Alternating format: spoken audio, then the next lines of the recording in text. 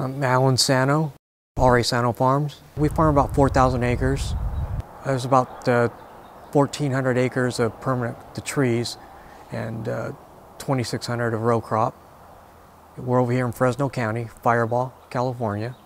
We started over here back in 1974 and uh, we farmed some permanent crop, which is trees, the almonds, a little bit of pistachios, and row crops, tomatoes, wheat, garbanzo beans, garlic, and processing tomatoes, and fresh market tomatoes. Oh yeah, it's really important as far as the quality of the fruit. On, as far as our tomatoes, which is our main source crop, seems like the more organic matter that's applied to the soil, that's what Jesse's really concerned about. A lot of organic matter back in the, the soil. It really does help out a lot. It minimize, minimizes the soil tillage, makes it a lot mellower, and the quality of the fruit is a lot better. Our soils now compare what it was when we used to work the conventional way, you know, rip, disc, and everything. It's like day and night. Soils is so soft right now that uh, you can even dig with your own hands in the springtime. So how soft it is.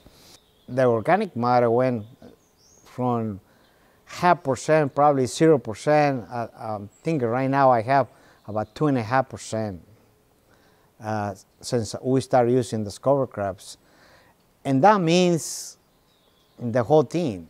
I mean, when it rains, uh, you see the water stays in the field, doesn't run off. You see the neighbors, the neighbors, the water running out in the roads. My, uh, my rain stays right there in the field.